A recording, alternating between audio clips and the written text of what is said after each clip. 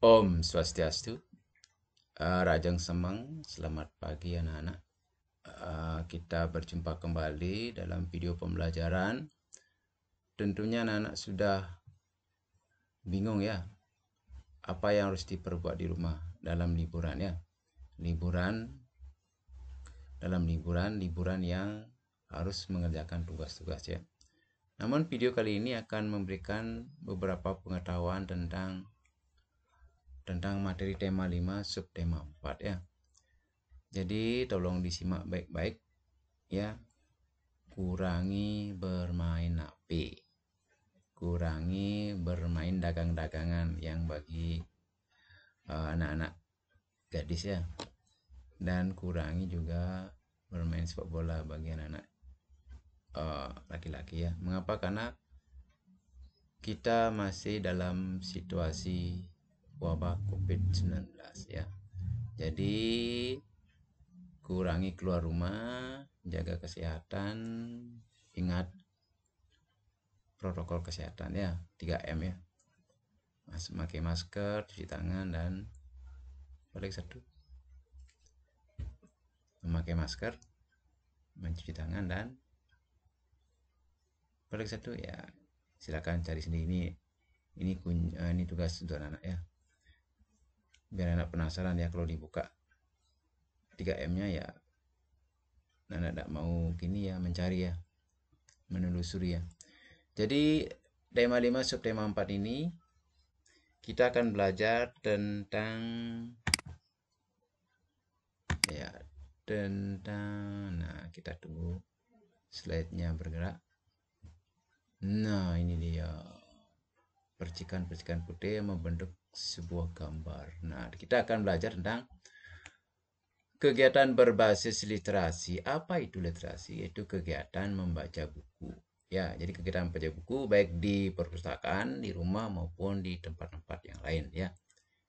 Jadi kuncinya kita membaca buku yaitu kita harus konsentrasi, fokus dan tidak ribut. Jadi membaca dalam hati sehingga apa yang dibaca dalam hati akan masuk ke otak dan kita akan paham apa isi buku tersebut. Ya, jadi kalian telah mempelajari berbagai keragaman produk wirausaha, peran Indonesia dalam bidang ekonomi di ASEAN, gerak berirama, magnet, dan berbagai macam bangun ruang. Ilmu yang kalian kuasai tentu sudah semakin bertambah dan kalian semakin memahami tentang pembelajaran. Namun kegiatan belajar tidak terhenti hanya sampai di sini untuk memperdalam ilmu dan wawasan yang kalian miliki. Kalian harus terus belajar. Jangan pernah puas dengan apa yang kalian peroleh saat ini, khususnya dalam hal menuntut ilmu. Yung, yang ketiga. Tong tanggas. Harus hemat dong. Ya, maaf ada si kumul lewat tadi ya. Nah, berikutnya kita akan nah ini ini merupakan pembelajaran pertama ya dalam kegiatan literasi. Yang pertama, jadi silakan anak-anak baca teks manfaat manet dalam bidang kesehatan. Nah, di sana ada ada wacana ya. Jadi wacana itu terdiri dari tiga paragraf. Tiga paragraf ya. Jadi bagi anak-anak yang punya buku, silakan baca bukunya. Yang tidak punya buku, silakan buka HP-nya. Udah, buka HP-nya kembali. Kemudian uh, klik Keep in School ya, Keep in School ya. Aplikasi in School di sana akan ada buku tema 5 ya. Silakan dulu dibaca buku Keep in School-nya, tema 5-nya di Keep in School sehingga anak-anak bisa menjawab ya. Jadi tentunya setelah kita membaca, kita akan tahu apa isi paragraf-paragraf yang ada ya. Jadi anak akan menentukan satu paragraf pertama apa ide pokoknya ya. Jadi ide pokoknya apa, itu kesimpulannya apa. Nah, kemudian para, para, paragraf kedua juga sama ya. Apa ide pokok, apa kesimpulannya. Kemudian paragraf ketiga juga sama ya, apa ide pokoknya, apa kesimpulannya. Jadi masing-masing kesimpulan dibuat dibuat. Coba kalian paparkan di depan teman-temanmu ya. Jadi sini karena anak-anak tidak tatap muka, jadi pemaparannya dikerjakan di double folio, ya kertas double folio. Jadi paparan dengan kalimat yang baik sesuai dengan informasi yang sesungguhnya. Jadi anak-anak apa itu mencari informasi-informasi yang ada pada paragraf-paragraf paragraf-paragraf yang ada ya. Ada paragraf 1, paragraf 2, paragraf 3 ya. Jadi ini ini silakan kerjakan dalam kertas tebal folio ya.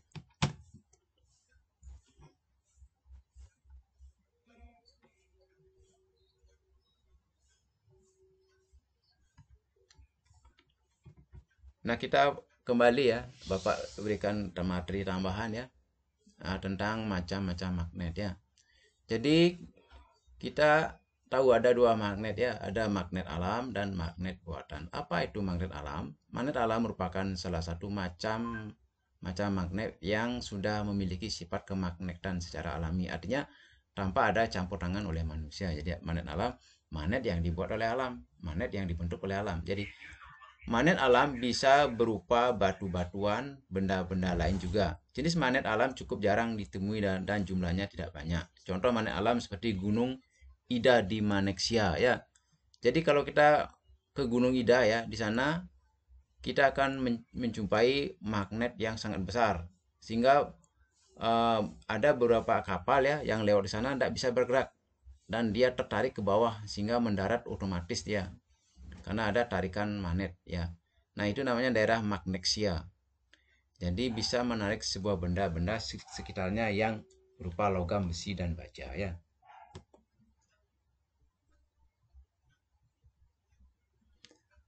Kemudian kita tunggu slide berikutnya nah yang tadi Pak sudah bilang ada magnet alam nah sekarang apa itu magnet buatan magnet buatan yaitu salah satu magnet atau salah satu macam macam magnet yang dibuat oleh manusia ini manusia yang buat jadi macam-macam magnet buatan ini dibuat dari bahan-bahan magnetit yang kuat seperti besi dan baja ya. Jadi bahan magnet otomatis besi dan baja.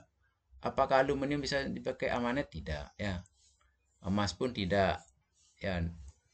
Jadi ada pu ada banyak pula bentuk-bentuk magnet buatan ini dari mulai magnet silinder batang jarum magnet berbentuk U magnet berbentuk keping bentuk ladam dan sebagainya. Magnet buatan ini terbagi lagi menjadi dua, yakni magnet tetap atau permanen, yaitu salah satu macam magnet yang mempunyai sifat kemagnetan yang bersifat permanen, artinya tidak berubah, tidak hilang meskipun proses dalam pembuatannya sudah dihentikan. Nah, ini ya. Sedangkan magnet sementara, magnet yang dibuat hanya sementara ya, ini hanya terjadi dalam proses pembuatannya ya. Kita tunggu. Iya, kita kembali ke slide. Nah, bentuk-bentuk magnet. Bentuk magnet, nah, magnet memiliki berbagai macam bentuk. Hal ini dikarenakan pada setiap bentuk magnet dibuat dengan tujuan kegunaannya, seperti yang uh, seperti berikut ya. Secara umum ada lima bentuk tetap magnet. Nah, jadi ada bentuk magnet yang tetap. Bentuk yang pertama itu berbentuk batang yang disebut dengan dengan magnet batang. Nah, ini magnet yang bentuknya tetap tidak berubah ya. Kemudian ada magnet yang kedua itu bentuknya silinder yang disebut dengan magnet silinder. Kemudian ada bentuk magnet yang ketiga jarum bentuknya seperti jarum.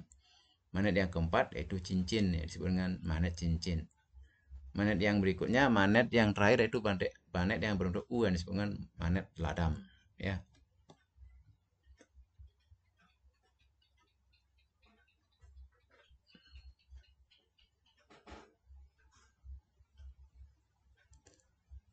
Kemudian kita lanjut ke slide berikutnya. Nah, ada kegiatan literasi ya. Nah, kegiatan literasi di mana kita akan di disajikan atau di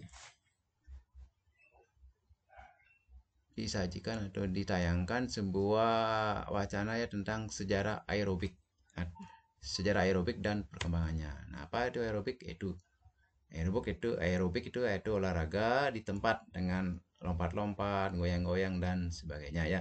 Perlu kita ketahui ternyata olahraga datus senam aerobik ini bukan berasal dari negara Indonesia tetapi berasal dari negara Amerika ya. Jadi senam aerobik berasal dari Amerika. Pada tahun 1970-an mulailah sejarah dari senam aerobik di Amerika Serikat. Nah, ini Amerika Serikat.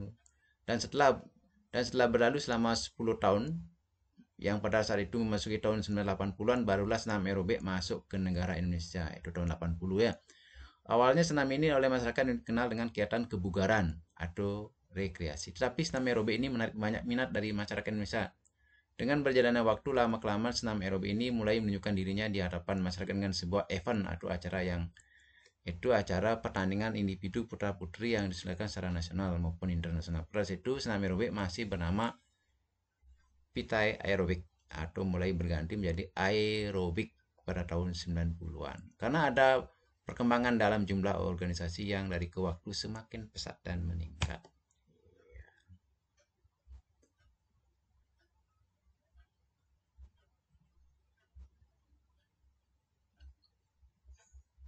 Nah, ya. Terus aerobik. Nah, kita akan ulas kembali ya tentang se, uh, tentang magnet ya. Kita selingi dulu. Tadi kita tahu tentang sejarah aerobik ya. Jadi selintas kita bicara tentang sejarah aerobik. Namun kita akan kembali ke magnet ya. Ya Bapak berikan jeda tentang aerobik agar anak-anak tidak uh, tidak bosan ya. Sehingga jeda aerobik itu sejarah aerobik merupakan suatu tolak ukur atau timbal balik anak-anak untuk kepastian dalam menonton video ini ya. Jadi bahan yang digunakan dalam magnet ada berbagai tipe ya. Ada magnet permanen campurannya ya. Jadi magnet permanen campurannya itu magnet alkomat dicampur dari besi dan aluminium ya. Jadi ada magnet antara besi dan aluminium dicampur ya magnet namanya ya. Kalau aluminium aja di, tidak bisa ditarik oleh magnet tapi harus dicampur dengan besi. Kemudian ada magnet alnico dibuat dari besi dengan nikel. Nikel ya. Itu ya. Jadi semua bahan pokoknya besi namun dicampur sedikit dengan nikel agar tidak karatan dia aluminium agar dia cepat mengantar panas. Kemudian ada magnet tikonal itu campuran besi dengan kobalt ya. Jadi itu bahan-bahan permanen campuran ya. Kemudian kita lihat slide berikutnya. Ya sabar. Nah kemudian ada magnet permanen keramik. Magnet ini tipe magnet ini disebut dengan magnet manakdur. Manakdur ya. Terbuat dari serbuk perit dan bersifat keras serta memiliki gaya tarik kuat ya Kemudian ada magnet besi lunak. Tipe magnet besi lunak disebut dengan stol, stolei. Terbuat dari 96% besi dan 4% silikon. Sifat kemadanannya tidak keras dan sementara. Kemudian ada magnet pelindung. Tipe magnet ini disebut dengan dengan mu metal. Terbuat dari 74% nikel, 20% besi, 5% tembaga, dan 1% mangan. Ya. Magnet ini tidak keras dan bersifat sementara.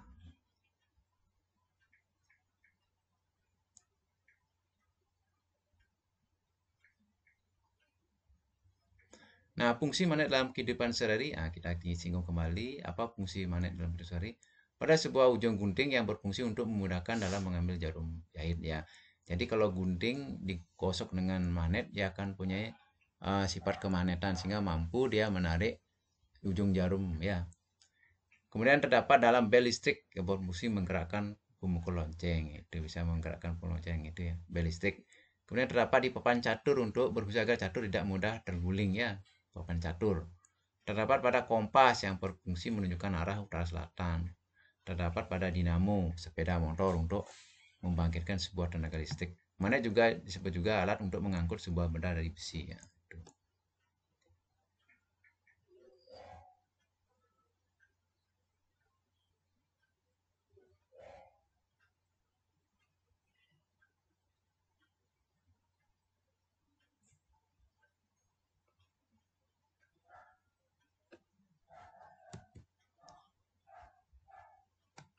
Nah, kemudian silakan baca ya di buku paketnya tadi ya. Ini tentang pembelajaran berikutnya itu kegiatan listrik kegiatan kegiatan literasi kedua ya. Terlalu cepat ngomongnya belepotan jadinya. Jadi kegiatan literasi kedua, anak-anak Bapak tugaskan membaca teks Indonesia Singapura jalin kerjasama di industri 4.0 dan ekonomi digital yang ada di buku siswa ya juga sama ya Jadi anak-anak baca bukunya ada empat paragraf yang harus dibaca. Nanti setiap paragraf ditentukan apa ide pokoknya dan apa kesimpulannya. Ya, itu dikerjakan dari paragraf 1 sampai paragraf keempat ya. Cari ide pokoknya dan kesimpulannya ya. Jadi tolong dikerjakan dalam bentuk kertas double folio ya.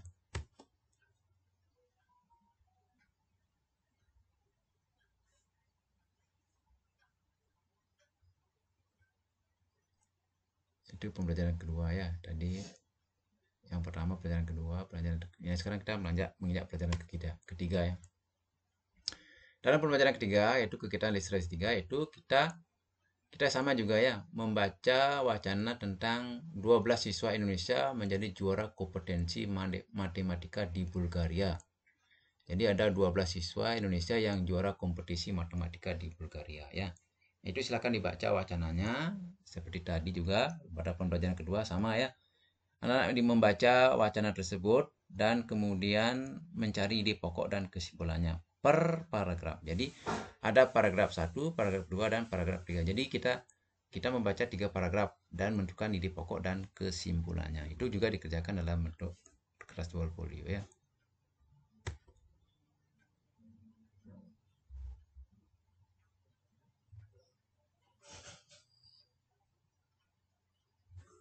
Kemudian kita menginjak pembelajaran keempat.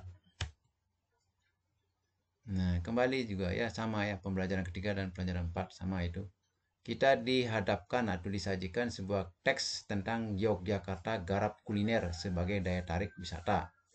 Jadi juga sama teks itu terbaca ya dibaca dulu wacana tersebut dan tentukan ide pokok dan kesimpulannya dari masing-masing paragraf paragraf 1, paragraf 2, paragraf 3, dan paragraf 4. Jadi ada 4 paragraf pada teks pembelajaran keempat. Itu juga masing-masing dibuat di dalam kertas double folio ya.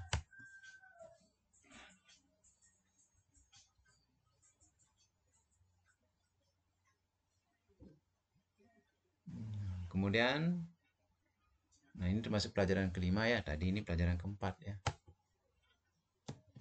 oh, coba cek dulu bapak yang salah ketik ya tadi pelajaran pembelajaran keempat. Nah ini empat. Nah sekarang ini pelajaran kelima. Ini salah ketik ya. Nah ini kita perbaiki dulu ya biar tidak salah ya. Ini termasuk pembelajaran ke ini show ya? Ini termasuk pembelajaran ke kelima ya. Ini kelima salah ketik ya. Ya yang manusia tidak luput dari kesalahan. Namun kesalahan itu jangan sampai diteruskan atau berlarut-larut. Ya kita kembali ke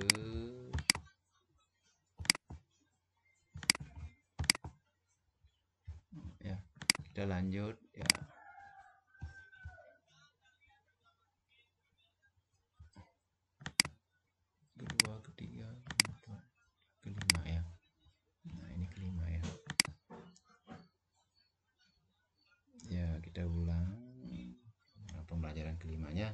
salah ketik Bapak pembelajaran ke-6.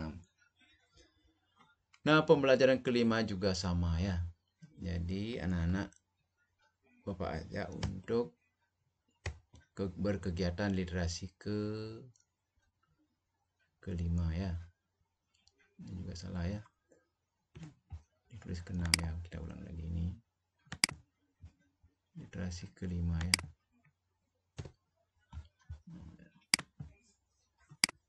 kelima.